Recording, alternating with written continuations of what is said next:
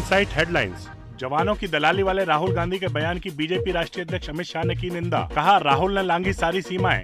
तमिलनाडु की मुख्यमंत्री जयललिता की तबीयत का हाल जानने कांग्रेस उपाध्यक्ष राहुल गांधी चेन्नई पहुँचे। मुलाकात के बाद कहा, जल्द ठीक हो जाएँगी जयललिता। जयललिता की हालत को लेकर भाजपा नेता सुब्रमण्यम स्वामी ने प्रदेश में राष्ट्रपति शासन लगाने की की मांग। राजनाथ सिंह को पत्र लिखकर कहा, प्रदेश में खराब हो रही है कानून व्यवस्था।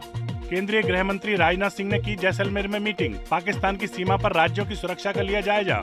मध्य प्रदेश में शिवराज कैबिनेट का फैसला। दैनिक वेतन भोगी कर्मचारियों को नियमित करने का फैसला। 125 फ़ीसदी महँगाई भत्ते का मिलेगा फ़ायदा। स्पेक्ट्रम नीलामी को लेकर सरकार की कोशिशें फेल। उम्मीद से अलग सिर्फ़ पैंसठ हज़ार सात सौ उन्यासी करोड़ की लगी बोली।